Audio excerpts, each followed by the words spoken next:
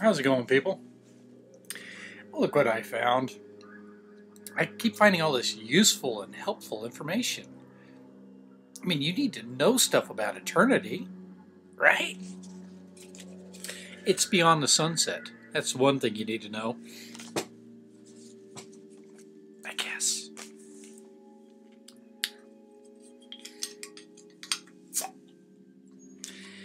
Find the most interesting stuff around my work. All right. I just gave it a glance. I haven't really read it. I wanted to. I only want to have to read this once. there is an eternity. There really is. And you will spend it somewhere. The dictionary says eternity is without beginning or end. The Bible says the unsaved will go away into everlasting punishment, but the righteous into eternal life. And that was in Matthew 25 46. And I'm sure a lot of other places. Where you spend eternity is extremely more important than where you are now. Yeah, fuck now. Think about eternity. That's the future. Forever is the future. Now, uh, uh, if it took a day to get to the place where you would spend the next 10 years, which would be more important? What you needed for the day trip or your needs for the next 10 year stay? I think they're both pretty important, don't you? I guess they beg to differ.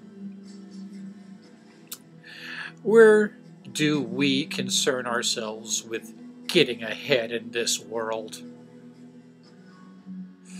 When eternity is so much more important, you know, in Never Never Land. That never happens. The Bible says, Seek first the kingdom of God and his righteousness and all these things shall be added to you. And again, it's Matthew. It's 633. This guy loves Matthew, I guess. You can know where you will spend eternity. Jesus knew where he was going and said, I go away to him who sent me. Where I am, there you may be also. And that's John 16, 5 and 14, 3. Paul said that when our body house, that's hyphenated, body house, is destroyed, we have a building from God. E- uh, eternal is eternal in the heavens. And that's 2 Corinthians 5.1. The Bible tells us, These things have I written to you who believe in the name of the Son of God, that you may know that you have eternal life. And that's 1 John 5.13. So this is some pretty well documented stuff. You will spend eternity either in heaven or hell. Heaven is a wonderful place with gates of pearl, a street of gold, the crystal clear river of the water of life. Didn't Plato talk about a no, wait, that was a, the waters of forgetfulness, excuse me. Then you went on to your next life. Different, but the same. Uh, and the tree of life. They're so pretty. Uh, there will be no night there. there will be no night there, for Jesus will be the light. And that's from Revelation 21 22.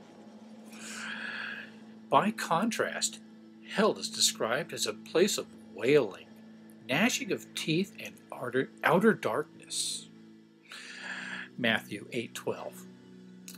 Who will be there? Anyone not found written in the book of life. Probably another gold book. Uh, will be cast into the lake of fire. Sounds awful. Revelation 20, 15. The unbeliever will spend eternity in flaming fire. Scary.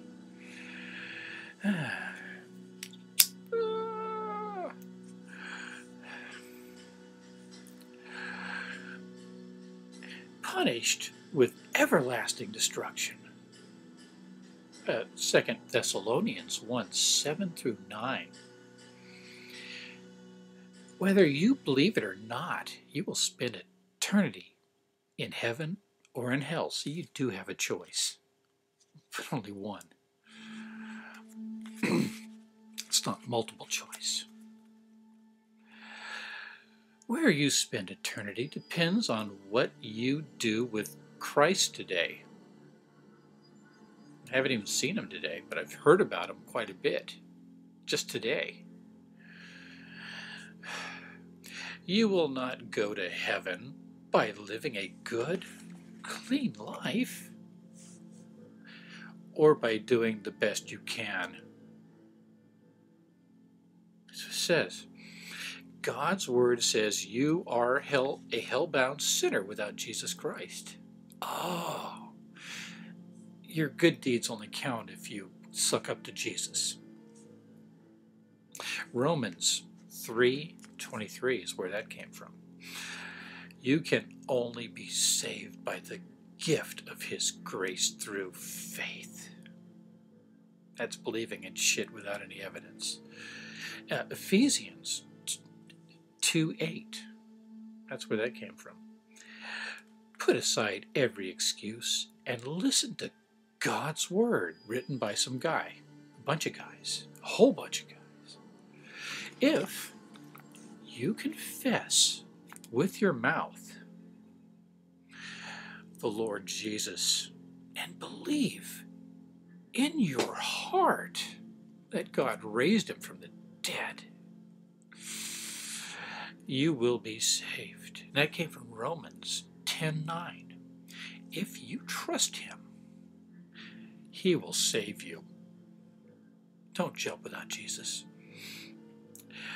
to the child of God, death is not the end, but the beginning. See, you're not, none of this counts. It's after you're dead when everything starts happening. To spend eternity in heaven, you must repent and receive Christ by faith. I actually did that a long time ago. The Bible says he who believes in the Son has everlasting life. And he who does not believe the Son shall see, uh, shall not see life, but the wrath of God abides on him. And that's from John 3 36. Turn away from self and turn to Christ. Stop being so selfish just as you rest by putting all your weight on a chair. God, how many times have I heard that goddamn chestnut? so put uh, put your future in the hands of Jesus, because you sit in a chair and you trust that it's not going to collapse under you, even though things like that happen.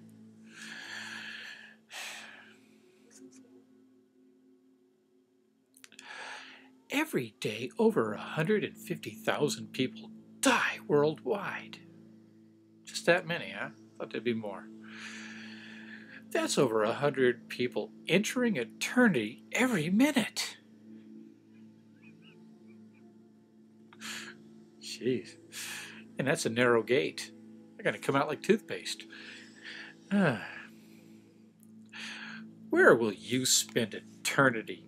Trust Jesus today, and it will be in heaven. That's written by David G. Uh, Canine. Canine. And there's information. The Jesus people. I'll put that in the more information.